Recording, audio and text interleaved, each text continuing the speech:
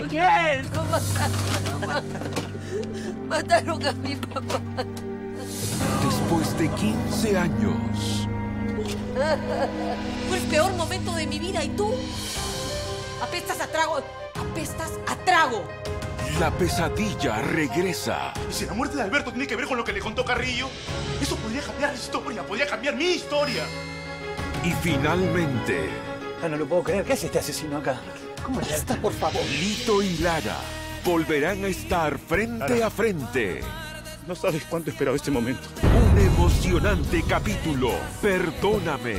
Hoy, inmediatamente después de Al fondo hay sitio en América.